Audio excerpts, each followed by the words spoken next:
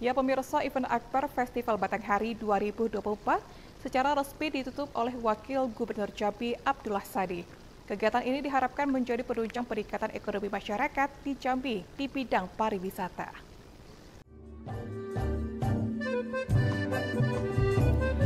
Wakil Gubernur Jambi Abdullah Sadi secara resmi menutup rangkaian acara Festival Batanghari 2024 yang digelar di RTH Kota Jambi pada Senin 8 Juli 2024 malam.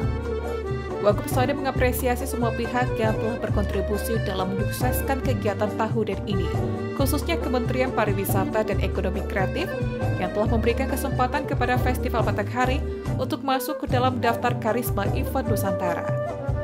Festival Batanghari ini diharapkan mampu memacu pergerakan dan peningkatan perekonomian masyarakat dan daerah, serta ekonomi kreatif Provinsi Jambi dapat terus tumbuh dan berkembang, sehingga dapat dikenal secara nasional maupun global.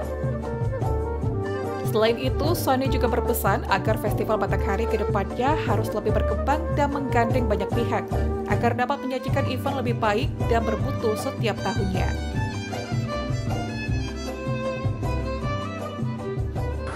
Besar harapan saya, harapan kami dan harapan kita dengan mengoptimalkan luas jangkauan promosi pariwisata daerah. Festival Barang Hari harus terus meningkat kualitas penyelenggaraannya, menggandeng lebih banyak pihak untuk menyajikan event yang lebih, lebih dan lebih baik, bermutu dan menarik setiap tahunnya. Di sisi lain, dalam penutupan Festival Batanghari 2024 ini berlangsung meriah, di mana masyarakat antusias untuk menyaksikan pagelaran penutupan festival, mulai dari pagelaran musik performance, peragaan busada, tarian, hingga penampilan dua artis ternama seperti Ayudhya Lida dan Maya KDI.